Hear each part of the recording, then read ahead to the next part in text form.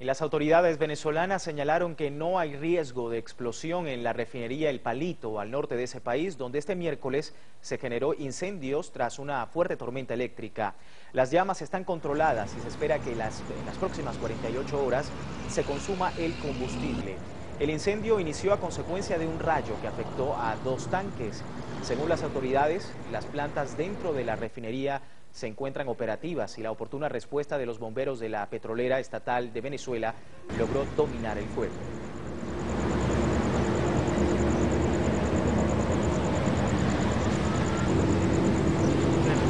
una fuerte tormentas eléctricas, eh, tuvimos una situación de que un rayo, un rayo incendió el sello de dos tanques de nafta.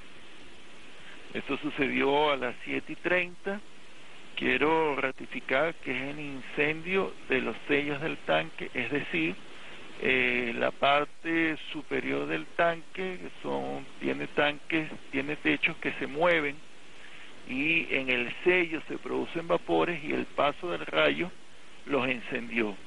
A pesar de tener dispositivos de pararrayos, bueno, se produjo esta situación, ya se, ya se logró extinguir el incendio en uno de los sellos y estamos trabajando para extinguir el incendio en el otro sello del tanque.